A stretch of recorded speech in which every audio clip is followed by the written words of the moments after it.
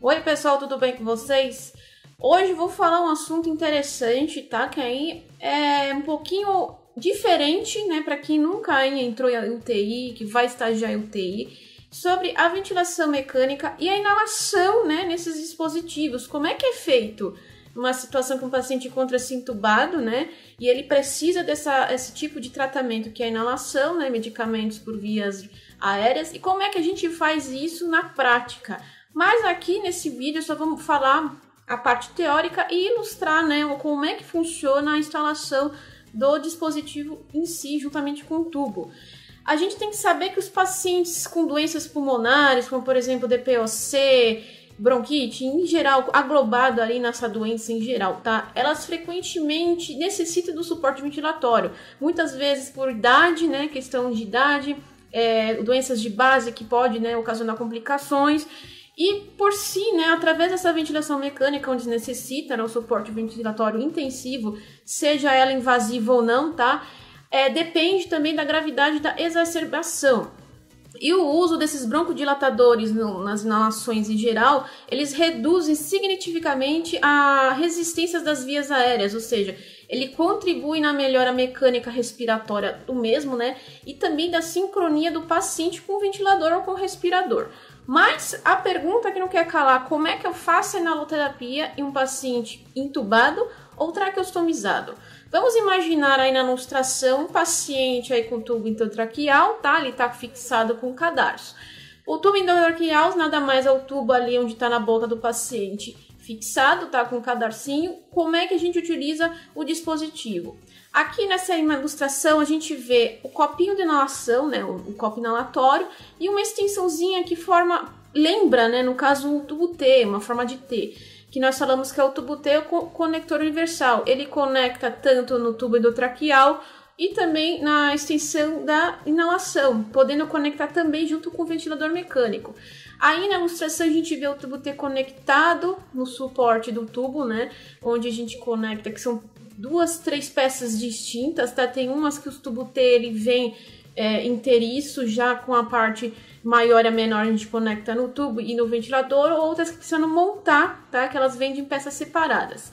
Temos o frasco inalador, que é o frasco o que a gente encontra né, nos âmbitos hospitalares, que são roxinhos, azul, cinza.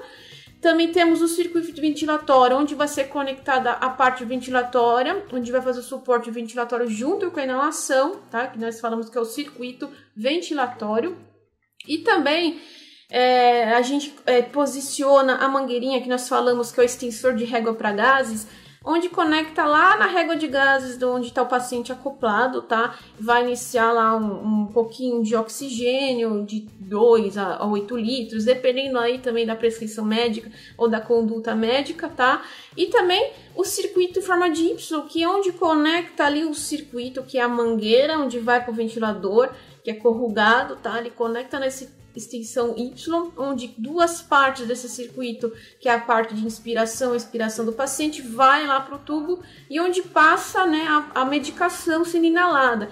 Então, toda essa extensão, esse sistema de inalação aí do, do paciente, a enfermagem ela instala, tá? Ela, ela que vai preparar a parte medicamentosa, vai fazer a preparo do medicamento no frasco e vai instalar ali no paciente para manter é, assistência né, de oxigenoterapia com medicamento. Mas a pergunta é como é que nós montamos esse sistema né, no, no paciente sem que ocasione complicações.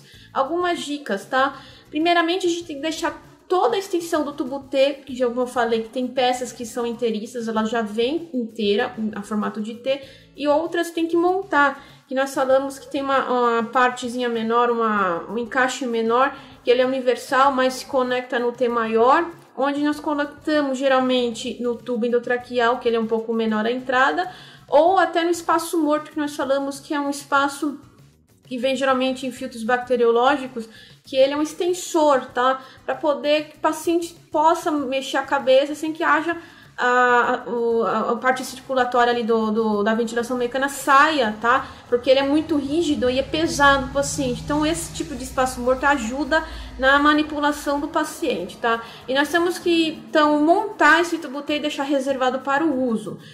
Aí eu vou montar o frasco vou fazer lá, pegar a prescrição médica, vou pegar o medicamento, geralmente o, o Berotec, o Atrovente. O Atrovente atualmente está sendo muito difícil encontrar tá, esse medicamento, porque dizem que está saindo aí da, da, da, fabricação né, de linha. Mas alguns hospitais ainda a gente encontra esse medicamento para ser administrado. Então a gente vai preparar a inalação com tantos ml de soro ou tantos ml de água destilada com as gotas prescritas pelo médico de Atrovente ou Berotec e vamos deixar reservada a bandeja. Aí já vou deixar previamente lá montada a extensão da régua de gases, né? Já com a mangueirinha lá do oxigênio, o ar comprimido, já previamente montado. A gente precisa entender que certos pacientes que fazem uso de inaloterapia precisam entender que alguns pacientes não podem utilizar inalação com oxigênio. Por que isso? Pacientes com DPOC tendem a reter CO2, que é o gás carbônico, tá? E, e níveis muito altos é prejudicial ao paciente. Então, a gente pergunta, né, geralmente para o médico, ou até quem é o fisioterapeuta que está ali avaliando o paciente, se a inalação deve ser feita pelo oxigênio ou ar comprimido, se o paciente é retentor ou não de CO2. Se ele não é retentor, ele pode ser utilizado lá oxigênio, a gente usa a extensão de oxigênio. Se não, é somente por ar comprimido. Isso é importante a gente saber que é um detalhe importantíssimo que pode ocasionar complicações para o paciente. A gente vai conectar então o tubo T ao frasco inalador, é tudo montadinho, literalmente, é tudo separado. Chega lá, vamos montar o, o tubo T com um frasquinho e a extensão lá da régua de gases embaixo. Aí eu vou no paciente, tá? Já com todos os sistemas montados previamente e vou remover o filtro bacteriológico. O filtro bacteriológico é um sistema lá que vai ficar no circuito do paciente, geralmente é a parte, tá? Onde ele vai filtrar impurezas, toxinas, as coisas ruins para o paciente e vice-versa. Ele não vai trazer também para o circuito ventilatório é, certas bactérias, vírus e a gente vai fornecer ar purificado lá, previamente filtrado para o paciente. Então ele sai durante a inalação para poder ser colocado o frasco, porque ele pode reter, o filtro pode reter a medicação dentro lá do filtro e não vai fazer eficácia nenhuma. Então a gente geralmente tira o filtro bacteriológico e vamos instalar a inalação no lugar dele. Assim, temos importante evitar sincronia com disparo do ciclo inspiratório paciente ele está em programação ventilatória, vai ter modalidades lá de ventilação. Isso é um assunto muito específico, mais complexo. A gente pode até falar um vídeo sobre isso, mas a gente pode conhecer o básico.